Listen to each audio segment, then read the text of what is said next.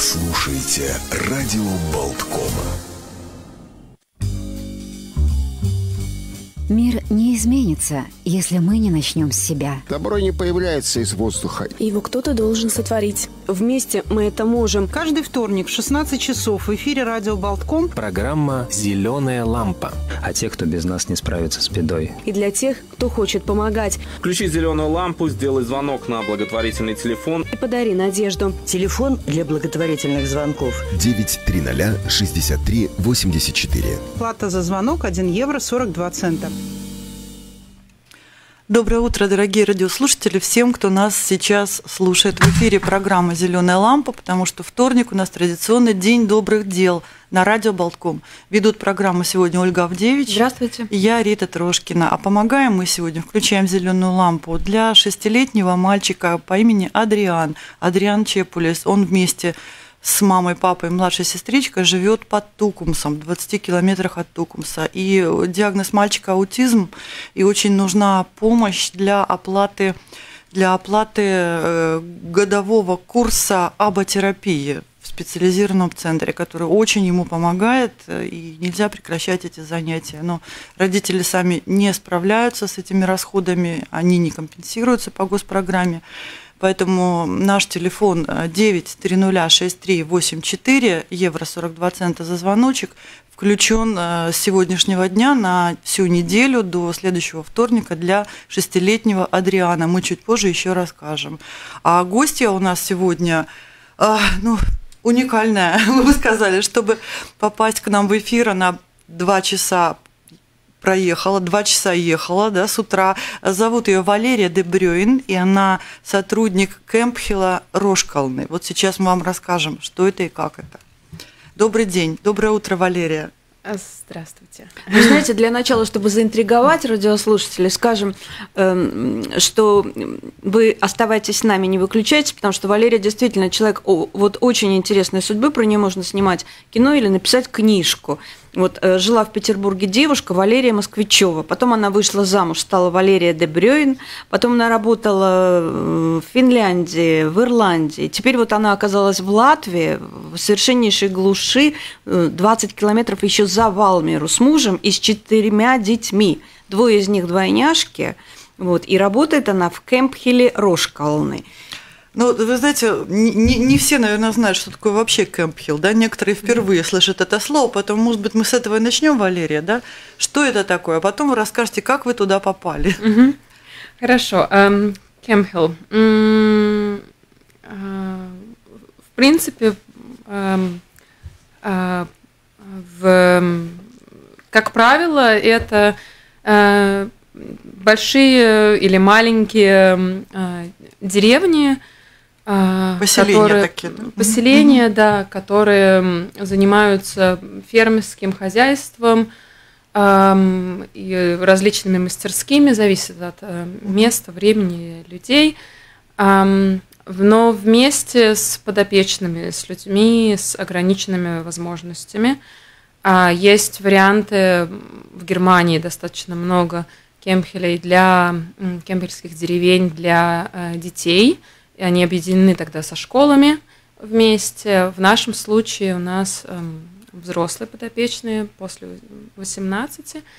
Э, и все это выглядит как у нас есть фермы, фермерское хозяйство, там, коровы, куры, всякая mm-hmm. живность. А два больших достаточно ну, э, дома, где живут сотрудники вместе с э, семьями, подопечными и волонтерами, которые приезжают на разное количество времени. Бывает, что на три месяца, бывает, что на год.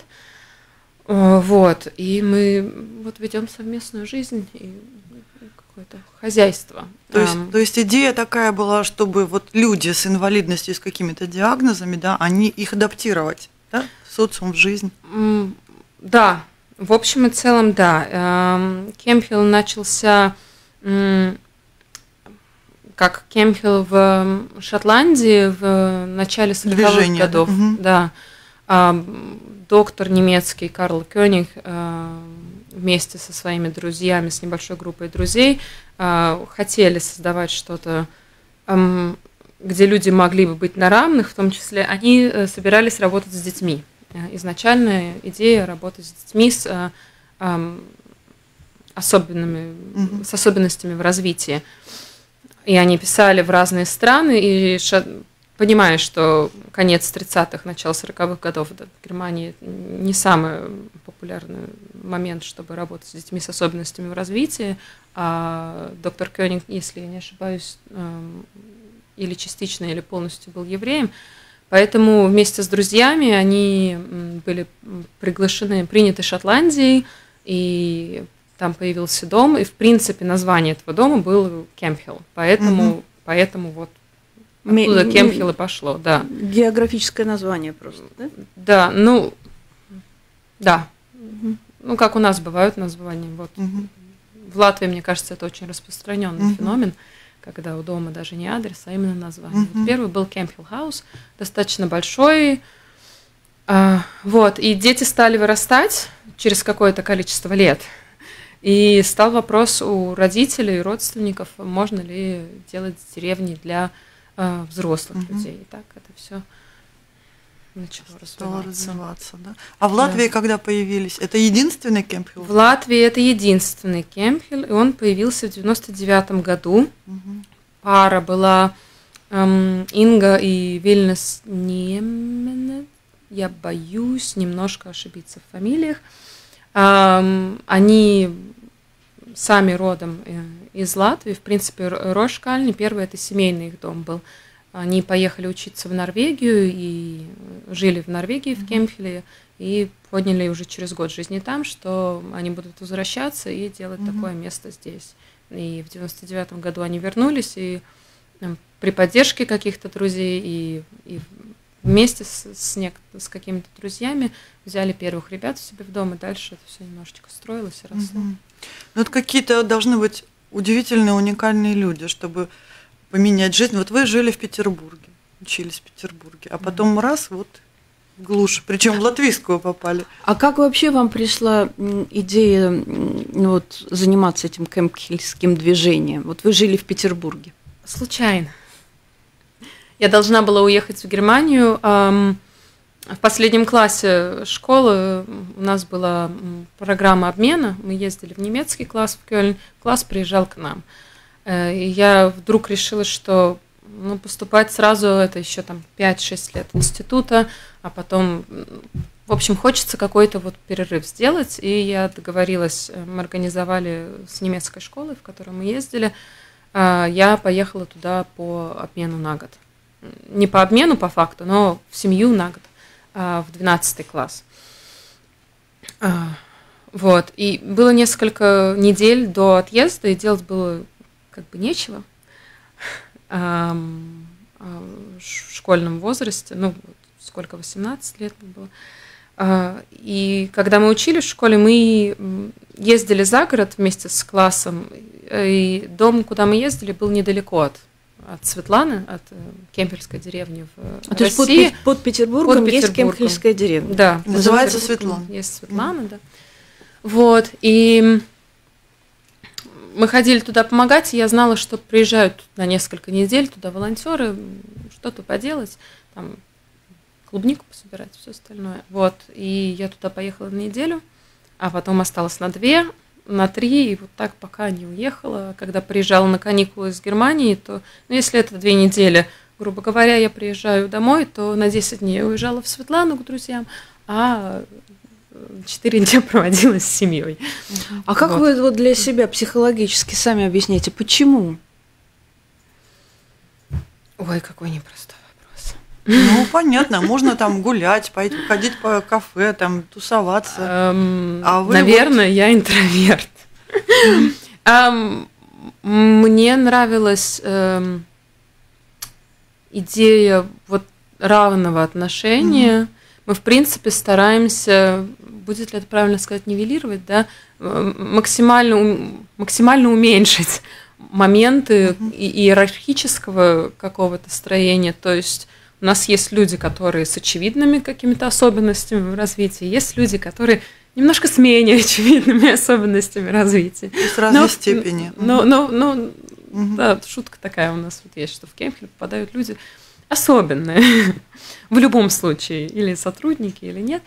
Вот. Эм, и мы максимально стараемся включать наших ребят в, в течение в течение ежедневной жизни, если это какие-то моменты, которые не требуют ну, или какие-то решения, которые не требуют прям особенной э, степени организации, сознания, еще что-то, то, то все решения максимально, насколько это возможно, мы стараемся расширять, принимать вместе. Есть деревенское собрание раз в неделю, где каждый, у каждого человека может быть там свой пункт, ну или то, о чем человек хочет поговорить. Э, и если это кто-то, чья речь плохо понятна совершенно, я знаю истории из немецких деревень, когда девушка выходила подопечная и на полчаса каждый раз рассказывала историю. Никто понятия не имел, о чем это, но сидишь и, и слушаешь, потому что это важно.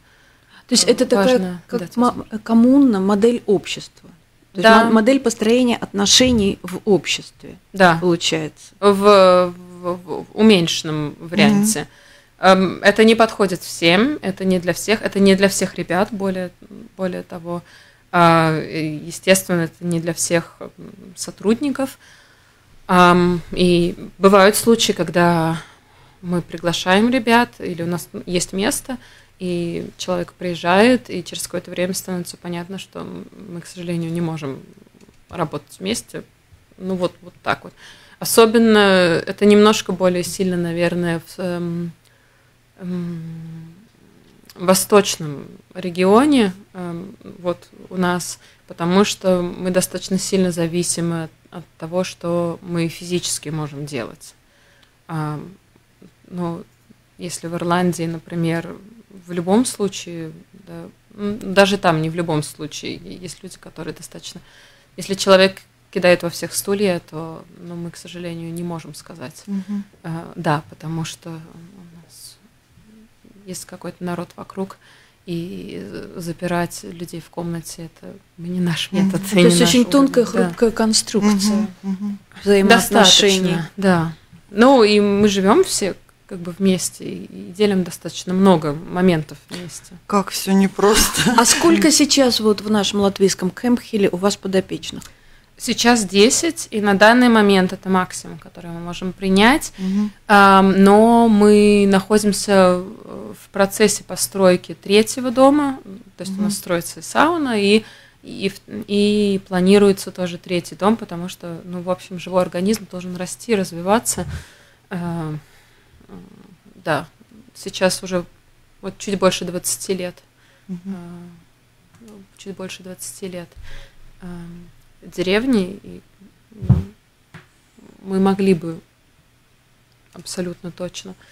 Валерия, а вот mm вы приехали в Латвию с мужем, mm-hmm. и у вас четверо детей, да, и в принципе вот вы, да, приехали Эм, в глухую деревню, угу. привезли сюда детей, и э, старшая девочка должна пойти, была в сентябре пойти в школу. Она пошла успешно. Да. А, то есть а это... сколько лет детям, вот расскажите? Значит, старшей девочке 9, в ноябре 10 будет, эм, э, средний, я не знаю, с четверых средний, это немножко mm трудно, да. Э, второй дочке 5, а, и мальчикам вот будет два года а, исполнится. Ну, София опыт со, у старшей дочки опыт со школы уже достаточно давно, потому что мы жили в Северной Ирландии, это часть Великобритании, и дети идут в школу в 4 года. Mm. То есть, как бы официально она закончила пятый класс. Здесь она... То есть там она на английском училась, там сейчас она, она приехала на английском, в Латвию, она пошла приех... в школу, и на каком языке? Она учится на, в русской школе на русском языке. Она разговорный русский у нее был, мы говорили, я с ней в семье говорила, она с моими родителями, с моей семьей говорила. Но все-таки все равно это такое, это такое решение приехать, это до школы, mm-hmm. до Валмера вам ехать еще там 20 минут. Утром э, там начинается э, дойка коров, да, да. которую тоже, в общем, нужно каким-то образом там контролировать, участвовать и так далее. Мне нет, я не принимаю участие в Ну вот, а что умеете? Эм, эм, Теоретически, да, селенок не хватает. Э, Вот э, что это такое? Вот вы с му- мужем, вас можно назвать социальными романтиками? Вот как это? Что вы хотите менять мир к лучшему? Или вы хотите, да, вы хотите, чтобы ваша семья, м, например, существовала в каком-то определенном пространстве? Что это? Ну, У нас совершенно нет стремления существовать э, в семье в определенном пространстве. Так получилось, что мы встретились в, в Кемпхельской деревне, в таком месте в э, Финляндии, и вот как-то так. То есть вы из карьера. Петербурга, Я из муж Петербурга. голландец. Голландец, мы Да. встретились в Финляндии. Он к тому времени уже там жил в доме, я приехала в дом работать. Эм, И через какое-то количество лет мы поняли, что вот что-то нам не очень подходит, и мы стали искать другие варианты. Думали поехать в Германию, но там не очень сложилось. И э, поехали, э, поездили по нескольким деревням в Ирландии э, и решили переехать в Северную Ирландию. Вот. Ну и опять время идет, все сейчас все меняется. Мы, в принципе, были открыты к эм, каким-то изменениям. А и в последние два года Рошкальни были не очень простые для деревни. В связи с разными социальными событиями, сотрудники, которые долго жили, устали э, немножко, они э, ушли, пришли другие, и у них не очень сильно получилось что-то. А, То есть всё н- непросто, не рассчитались э, конечно. силы. Было очень непросто, был такой штормовой период у деревни. И наши друзья, которые тоже какое-то время назад туда переехали, спросили, хотим ли мы, можем ли мы э, приехать и ам, Помочь наладить с ними как, какое-то время пожить. Да. Кон- конкретно мы, наверное, видим это как такой, ну вот пятилетний, не знаю, проект а, для семьи. Ам, И дальше будем смотреть. Может быть, когда-нибудь мы вернемся в Голландию. Да, все возможно. Сейчас у нас небольшой перерыв на рекламу. И оставайтесь с нами, мы продолжим через пару минут. Радио Болткома.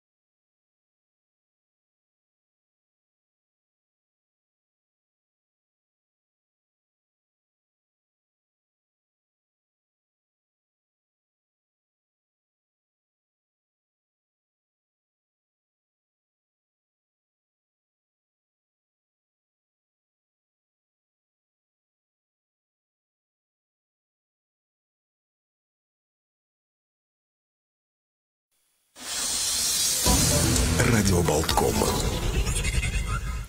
Мы продолжаем программу «Зеленая лампа». Напоминаем, что сегодня «Зеленая лампа» включается в помощь шестилетнему Адриану Чепулесу, а, который с семьей, с мамой, папой и младшей сестричкой живет под Тукумсом, в 20 километрах от Тукумса. Мы туда ездили, познакомились. Это очень обаятельный мальчик, очень хороший, добрый. И, ну, как у всех э, детей с аутическим спектром, с диагнозом аутизм, вот у него свои проблемы очень серьезные, потому что э, не умеет он контачить с другими детьми, не смотрит в глаза, и постоянно мама не может его оставить ни на минуту. То есть она постоянно должна быть с ним. А в семье еще и младшая дочка есть. Да? Ариана. прыг- прыгает, как Он мячик раскидать. прыгает, вертится, везде залезает. Очень сложно им пришлось. Она так с улыбкой грустной говорит, нам пришлось вообще все ручки там везде открутить, особенно с окон, потому что ну, вот, вот чуть-чуть там отвернешься, он уже там на окно может залезть. Вот, а так очень, очень милый мальчик, ну, помогают ему, да, э, познакомилась, познакомилась мама его Ирина с мужем в Англии, они уехали туда работать, тоже вот такая история, да, ехали туда на заработки, работали они в теплице, там цветами занимались, там познакомились, там у них родились двое детей. И старший мальчик, вот этот шестилетний Адриан, и дочка, которая сейчас 4 года. Но когда стало ясно, что Адриан, э, у него не все в порядке со здоровьем, мама била тревогу, она водила его по врачам, врачи разводили руками английские и говорили, подождите, он еще маленький, подрастет. И, в принципе, ничего не предпринималось. И когда уже выяснилось, что у него диагноз, ну, в принципе, понятно стало, что это аутический спектр какой-то, а Ирина решила проверить его в Латвии. И они приехали в отпуск, стали ходить по врачам. Врачи, как вы сами знаете, все у нас занимает это очень долгое время попасть к врачу, там где-то несколько месяцев, где-то полгода, и так они и задержались. То есть отпуск плавно перетек э, в постоянное, постоянное место жительства. Они фактически ради ребенка все оставили в Англии, вернулись и жить э, под Тукумс, маленькой квартирке и лечить ребенка. И Ирина нам сказала, да, вот латвийские врачи, наши врачи, они как-то очень хорошо помогают, и особенно помогает мальчику, э, помогают занятия по аботерапии. Мы об этом не раз уже говорили, то есть это для э, детей с аутизмом просто такая палочка-выручалочка. А, Она возила сына из э, Тукумса в Ригу. Это маленькая, маленькая да. деталь. Она, она сама машину не водит, в семье есть машина, или бабушка, или э, папа, или кто-то из знакомых должны были их довести до Тукумса. Там они До садились на Тукумсе, автобус, да. э, приезжали в Ригу на, авто, на автостанцию. Там они садились на трамвай и попадали вот в этот центр, где они получали эту терапию Ну, в принципе, мальчиком. да, с да, аутистом, да, прыгающим. да. Ну и а, да, с прыгающим аутизмом. Но по, по госпрограмме не оплачиваются эти занятия. 10, 10 реабилитационных занятий оплачивается по полчаса, и это был дневной стационар в Галлизерсе. Ну, что такое 10 занятий по полчаса, понимаете, что ничего это фактически не помогло, и поэтому мама очень просит помощи и поддержки для ребенка, потому что занятия по аботерапии реально очень помогают. Она сказала, это был прорыв у нас, он начал говорить какие-то слова, он начал в глаза смотреть, у него немножко так социальное поведение стало улучшаться. То есть, ну, заметные. Если прекратить, то можно вообще откатить, откат, откат назад э, по- получить и э, то, что уже, как сказать, завоевано вот этими вот занятиями, оно пропадет, можно потерять. И поэтому мы просим вас, если у вас есть возможность, э, сделать звонок по телефону 9306384, евро 42 цента за звоночек. Курс годовой аботерапии в Рижском Лаувас-центре э, стоит 4200 евро. Это есть- реально помощь ребенку. И счет помощи, счет помощи Адриану открыт в фонде Be Open, с которым мы сотрудничаем. Он э, есть на нашем сайте Mix News LV в рубрике «Зеленая лампа» и на страничках на Фейсбуке, которая тоже называется «Зеленая лампа» и Mix News еще есть страничка. Да? Посмотрите, там история, там фотографии мальчика, фотографии мамы и подробный, подробный рассказ о том, что нужно, как нужно и счет. Спасибо вам большое. Мы знаем вашу отзывчивость. Конечно, если, если кто-то не может помочь или даже сделать звонок, просто отправьте свои добрые мысли и пожелания этому ребенку. Это тоже где-то где-то в пространстве будет учтено. Да? Спасибо большое. И напоминаем, что наша гостья сегодня представитель Кэмп Хиларо Шкалны Валерия де Брёйн. А, Валерия, а с какими диагнозами ваши подопечные? Можно сказать об этом? Э, да, я не могу назвать всех по конкретно, но с диагнозом аутизм Тоже мы есть. знакомы, Мгм. да. А, вот на данный момент в нашем случае это, конечно, это более спокойный мужчина, но мне встречалось и приходилось работать с очень активными людьми.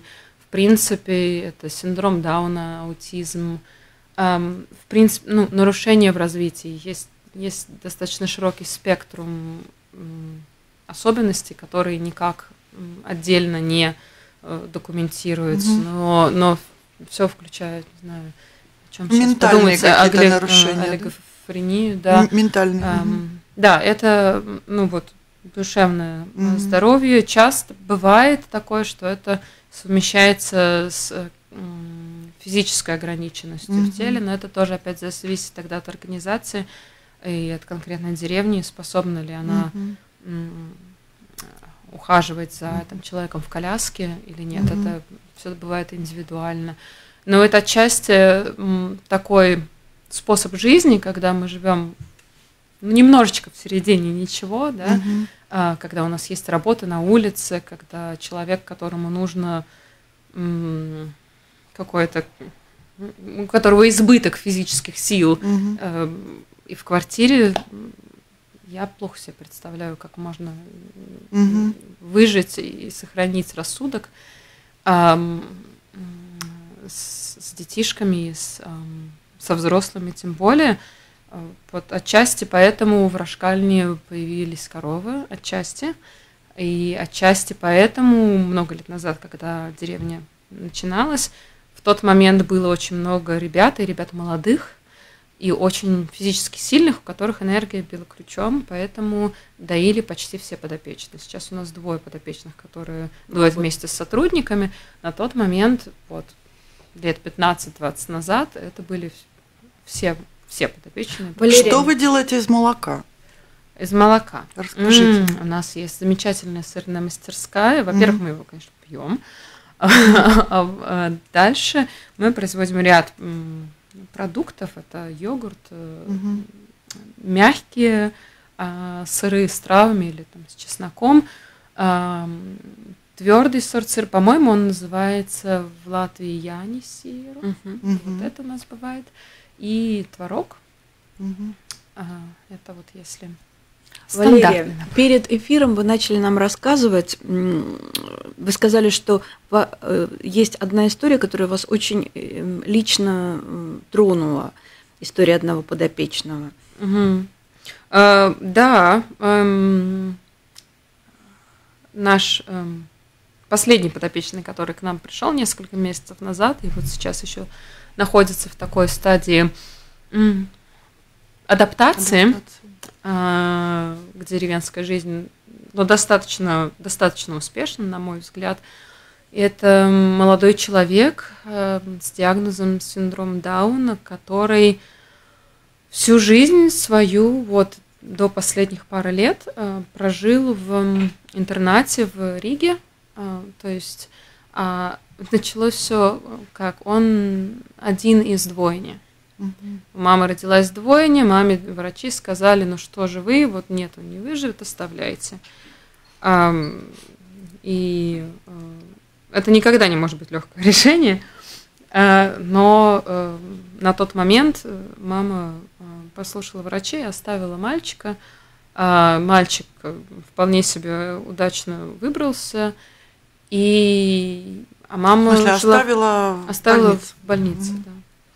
Ам, и мальчик жил себе в, эм, в интернате, а, но а, мама уехала в Германию, и в какой-то момент бабушка стала делать документы, что-то, что-то. В любом случае, семья думала все эти лет 19-18, что ребенок погиб.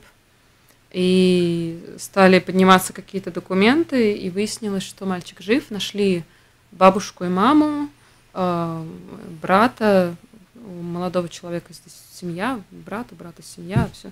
Мама в Германии живет. Вот, но такой вот получился у них, Ничего э, себе история, конечно.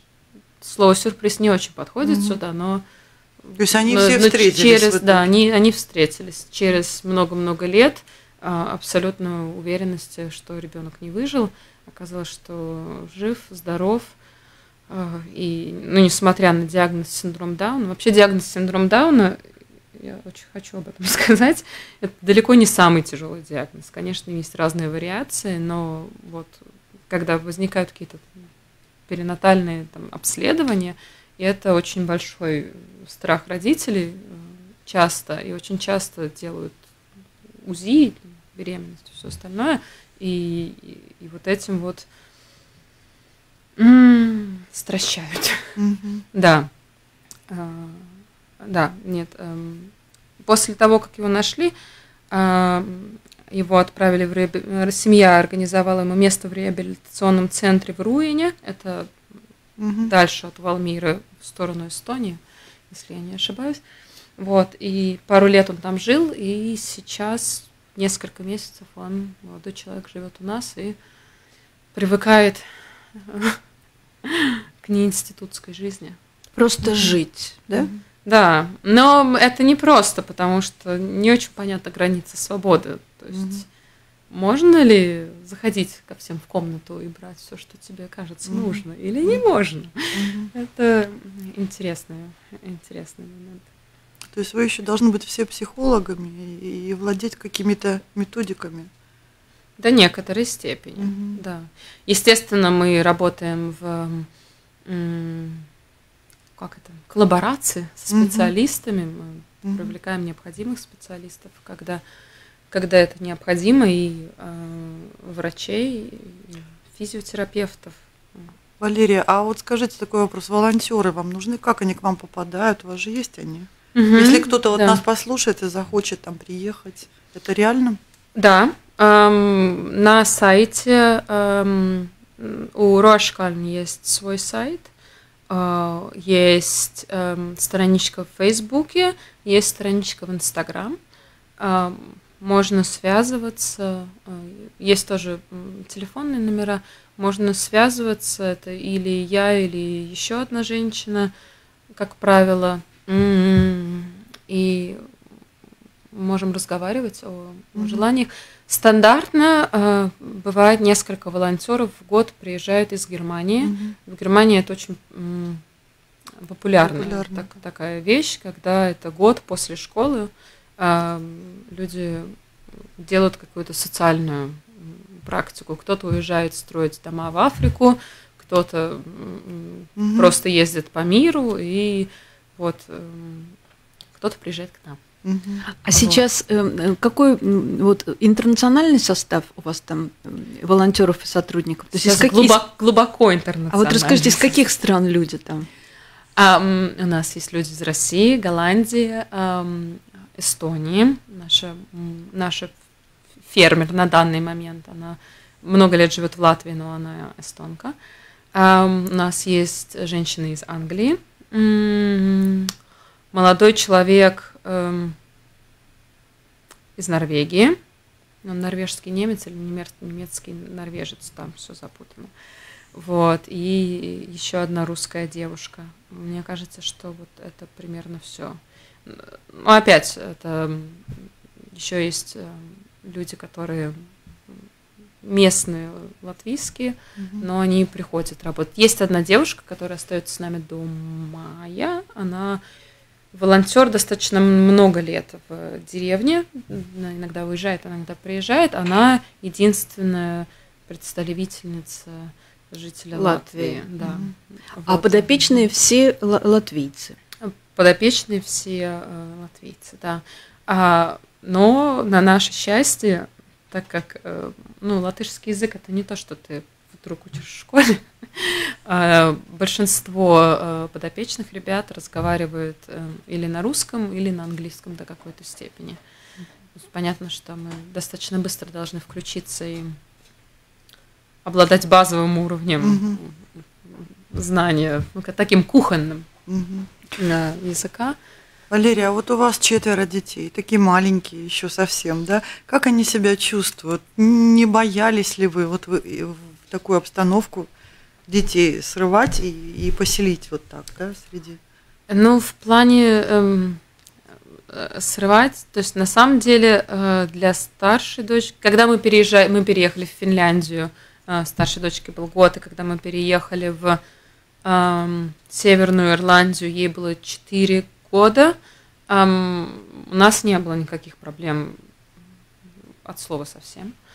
Ам, этот переезд был не очень простой для старшей девочки, потому что ну, это была уже школа, и, и какая-то м, стабильность.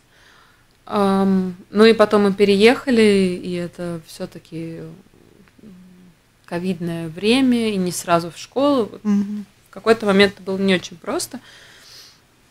А в плане жизни в деревне, сейчас все, сейчас все стабилизируется. В плане жизни в деревне нет, на самом деле, потому что